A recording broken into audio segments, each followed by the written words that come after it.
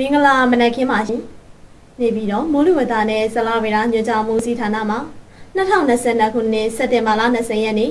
မနက်9:00နာရီချိန်ထုတ်ပြန်တဲ့မိုးလေဝသသတင်းများကိုတင်ပြပါမယ်ရှင်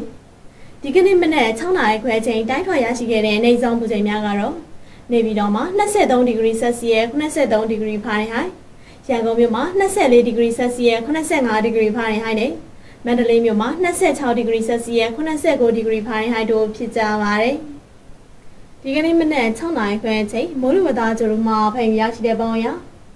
ကပလီပလဲပြင်းနဲ့ဘီကလာဘယ်လောင်တို့မှာတိမ်တစ်တစ်မှတိမ်ထူထပ်နေပါတယ်မြန်မာနိုင်ငံပေါ်မှာကတော့မြန်မာနိုင်ငံမြောက်ပိုင်းအရှေ့ပိုင်းနဲ့အောက်ပိုင်းဒေသတွေမှာတိမ်တစ်တစ်မှတိမ်ထူထပ်နေပြီးကြံဒေသတွေမှာတိမ်တစ်တစ်ဖြစ်ထွန်းနေတာကိုတွေ့ရပါတယ်ဘင်္ဂလားပင်လယ်အချိန်ဒီမှာဒီကနေ့မြန်မာစံတော်ချိန်6နာရီခွဲချိန်တိုင်းထွာကြများအရာ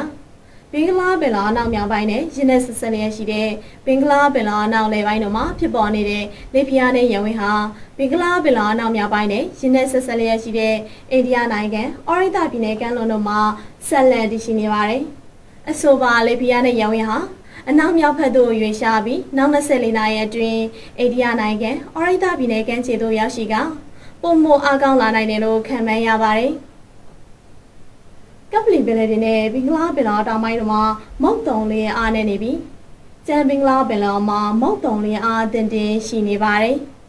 မြမပင်လယ်ပြင်မှာမြဝကျွန်းမော်ရခိုင်ကမ်းရိုးတချောင်းနဲ့ကမ်းလွန်ပင်လယ်ပြင်တို့မှာတခါတရံမိုးတက်လေပြင်းများကျရောက်ပြီးလှိုင်းသစ်တမလှိုင်းစီနိုင်ပါတယ်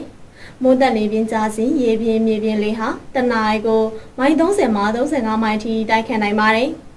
ကျန်မြမပင်လယ်ပြင်မှာလှိုင်းတင်တင်ရှိပါမယ်လှိုင်းမြင်မှာ မြို့ဝကျွန်းမော်ရခိုင်ကမ်းရိုးတဲ့တချောင်းနဲ့ကမ်းလွန်ပင်လယ်ပြင်တို့မှာရှစ်ပင်မှာဆယ်ပေခန့်နဲ့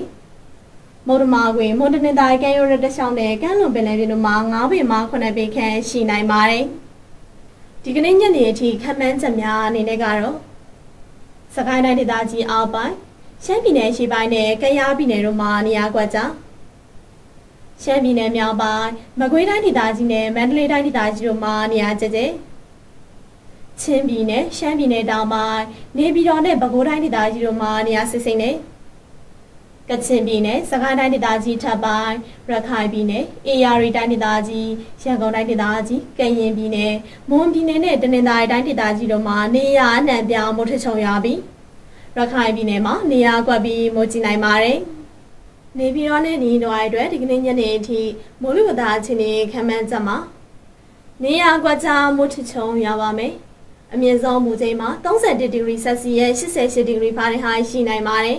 ။ရန်ကုန်မြို့နယ်အနီးတွိုင်းအတွက်ဒီကနေ့ညနေအထိမိုးလေဝသအခြေအနေခံမှန်းကြပါလဲ